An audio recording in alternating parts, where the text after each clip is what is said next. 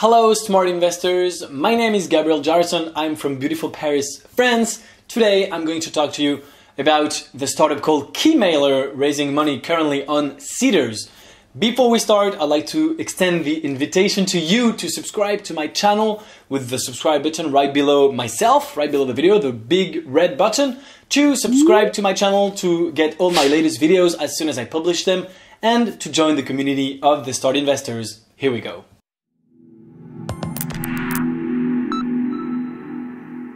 So here I am on the Seedrs website. I'm looking at the Keymailer page. We're going to go through it together and we are going to use my investment criteria that I have right here. So before we start, of course, let me remind you, this is not financial advice. I am not your financial advisor and please do your own research before you invest. Now, uh, uh regarding my investment criteria, please, if you do not know about them, if you haven't read what they mean, what those words mean to me, please before watching this video, download them in the description below. There's a link, it says my investment criteria. You can download them for free. And once you've read them, then you can come back and watch the video and actually understand what I mean. All right. So uh, there are eight investment criteria here that I'm going to go through. And I am on the Keymailer page. So I have not studied the, the, the, the company, the offer in details, in greater details. I want to put myself in the shoes of someone discovering the project so this is what I'm doing right now. I've only watched the short intro video, the four minute video here, just to get a grasp of what it's about. And also I'm not gonna watch the video right now with you during the video. So that's what I did before, but I haven't read through most of it and I'm going to try to find my, to find the answer to all those criterias while going through the page at the same speed that you or someone else discovering the project would. So basically, Keymailer is a marketplace for influencer for uh, video games influencers and for the marketing uh, studios for the marketing agencies that want to reach viewers through those through those influencers. So basically, Keymailer is in the middle of the Twitch channels, of the YouTube channels of video games, and the advertisers that want to get promotions offers to the public, and they're going to meet on that platform. So uh, I've been on the uh, website here keymailer.co. So promote your games to an audience of millions. Uh, actually, millions is an understatement because they've reached actually 1.3 billion viewers through the, uh, all of their campaigns. So that's a pretty great uh, achievements. Congratulations, guys. And this is what they do. So there's 4,000 publishers. There's 35 game keys delivered securely to content creators every month. So they actually are able to try new games. There's 5 million videos and 1.1 billion reach through those platforms through Keymailer. So this is pretty much how it works. So once you set up uh, uh, uh the uh, uh, YouTube platform or the Twitch influencer is going to request a game key from you, so to try the game for free, then you can actually check their credentials and you have to check. You don't have. I mean, the influencer doesn't have to resend you everything because actually they have a verified profile on the platform. And then if you if you'd like it, you can just send them the, the game. They'll make a video. They'll send it to you. You can review it, and that's it. Pretty straightforward. So let's try to see all those criteria here. So first of all, of course, we're going to have scalability. Yes, because it's a marketplace. So basically it's a single website and the website is existing. As you can see, it's right there. So now whether they have 10 times more uh, games that are given for free, 10 times more influencers, their costs are not going to increase. So it's the kind of startups that I like. It's the typical tech startup that we see today. They can increase revenue without increasing cost. So there's a good scalability. All right. Let's talk about the market. It's very easy. The market of influence, the market of the video games are both in huge, huge growth. So combining those two, the influencers in the video game sector, it's a huge, huge plus. It's a huge, huge, huge yes for the market here uh, it is a, a, great market to get into. Um, what else do we have? So we're going to talk about the unfair advantage, about the team. Uh, of course, want to make sure I read about monetization and margins because uh, Keymailer said in the video that they want now to focus on the business model. So that is something that I'm kind of more worried about. M maybe they do not have a business model so far. Let me check here. So the convertible um, I'll come back to that. It's pretty interesting. So this is what they do. Uh, explain it's explained better in the video. That of course I invite you to watch it. So the MVP was released in 2015. In 2016 they had 10,000 channels.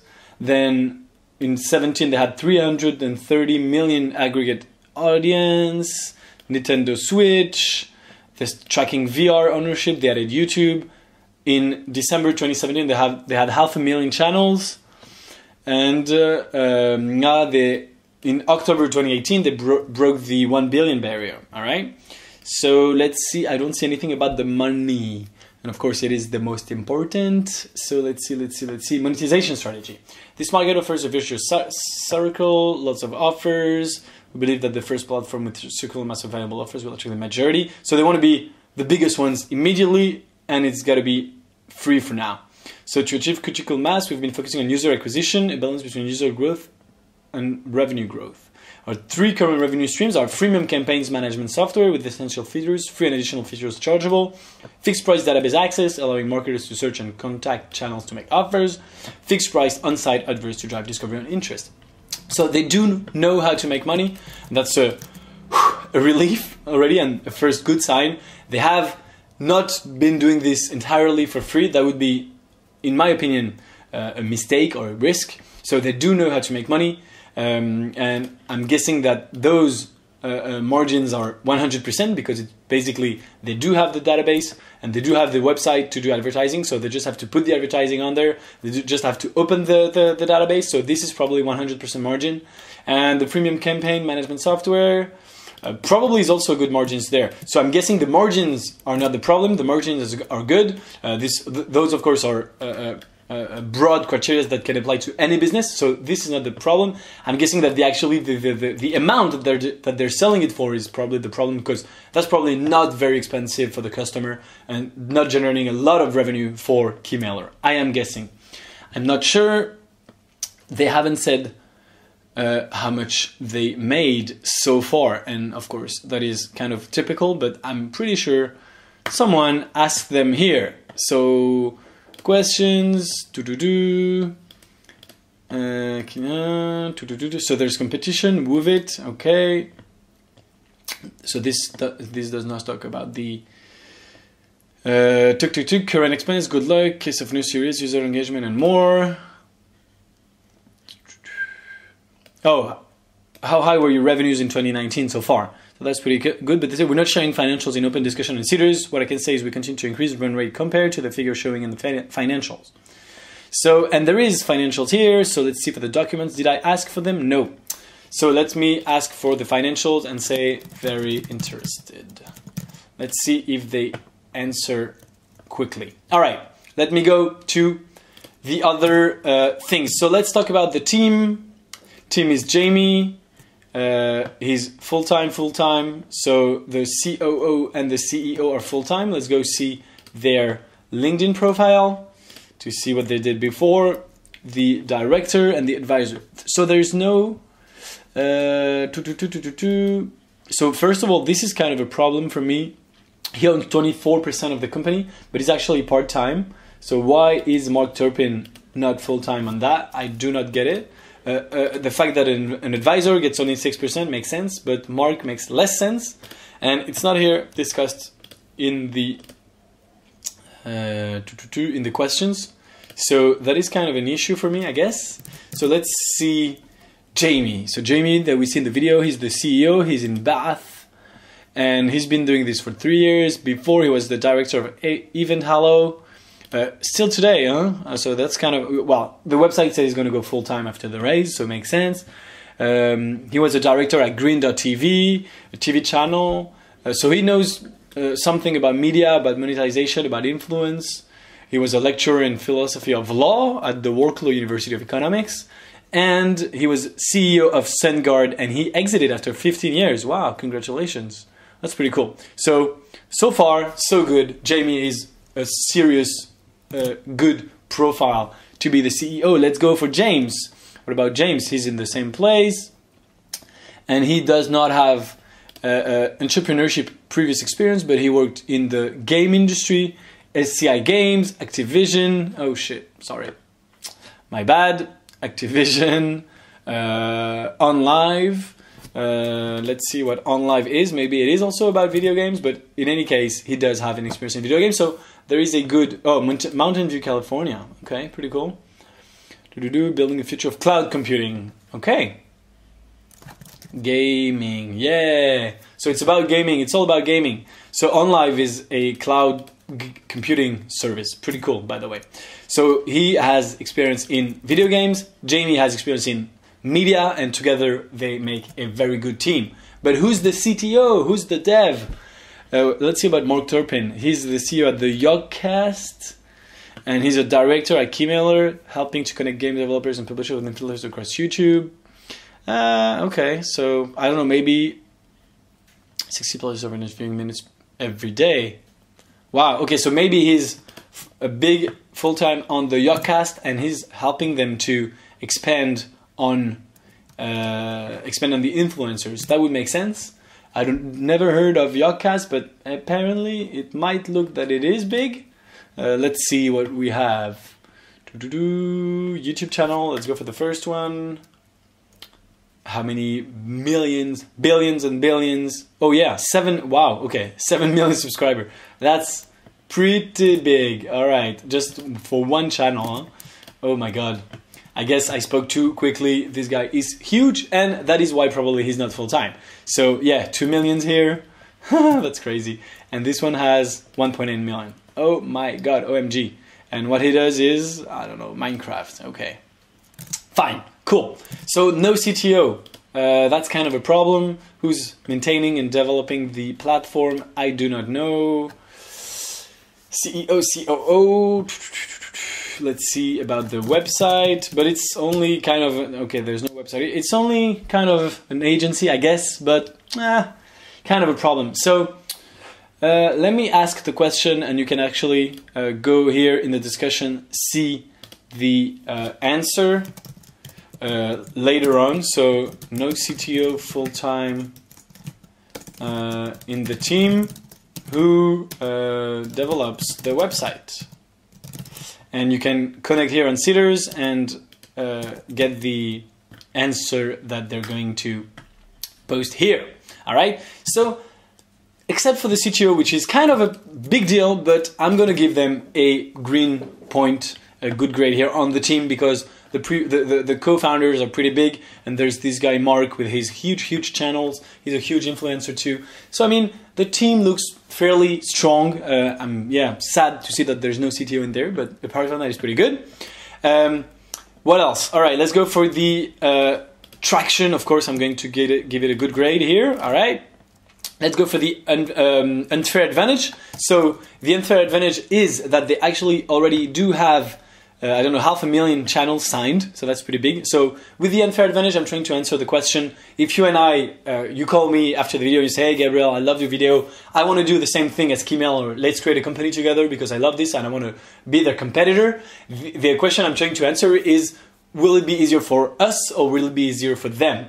And I guess the answer is it will be easier for them right now because they, have, they already have half a million channel signed up, which is huge. And it would be a huge, huge thing for us to catch up uh, on, first of all. And second of all, they already have over a billion views on all of those channels. So there, it's first mover advantage pretty much, but it's it's pretty substantial. First of all, and second of all, the partnership with Mark, with his huge influence, the fact that Jamie has a huge experience and sold his first company.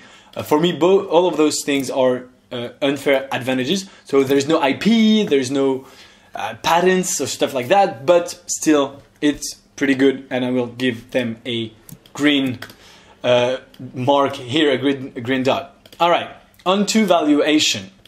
So valuation, as you saw here, it's a convertible uh, uh, operation. So that means that you do not, do not know the valuation right now. You will you will get your equity later on at the at the later valuation with a 20% discount. So as you probably know, this is fairly common now in startups, and it's pretty good because it both protects the interest of Keymailer and the interest of us as an investor. So I like that very much. It means it means that whatever the valuation later on, you'll actually get a good deal with a discount for having invested earlier.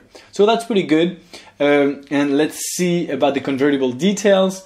So the valuation cap is five million pounds. uh, if there is a an equity fundraise of 250,000 pounds or more. But if there is no equity fundraising in the long stop date, which will be 12 months from the date the deferred subscription agreement is signed, so one year later, or a winding up, conversion of the long stop date on a winding up will occur at the share price of 50 cent, equivalent to a premium valuation of 1 billion, or if lower, the price per share issued after the date of the deferred subscription share. So I'm kind of uh, uh, baffled with this number here.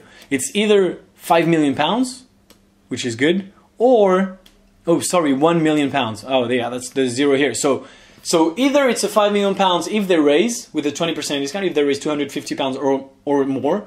If not, if they don't raise in the next 12 months, it's actually 1.1 million pounds. Am I reading that correctly? Yes, my bad. I was like billion, that's not possible. All right.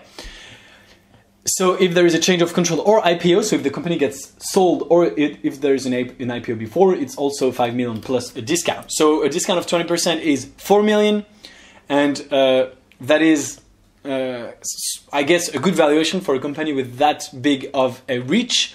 Of course, I would love to be more precise to see the money that they made recently, but let me refresh that. Yeah, they haven't given it to me already. So that is my mistake. I will do this before the next video. Of course, next time I do a video on Seedrs, I will request the documents before.